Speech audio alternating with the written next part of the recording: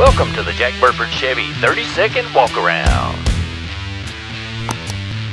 JJ 2020s. That's right, we're going to do a quick rundown of our remaining 2020 inventory.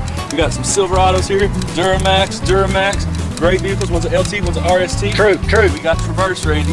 We got them in different colors. We got Ooh, pretty. RSs, we got LTs, LSs. Blast of the them. 2020s. Blast of 2020. Come and get Then them. we got some Equinox left. We got Yep. one missing right now. We now. got one missing out for a Hopefully test drive been now. That's right. We got two right here. Come in, check them out. All-wheel drive, two-wheel drive. We got a little bit of everything, and that's just our 2020. We got 2021 in inventory now. That's right. We'll see y'all next time.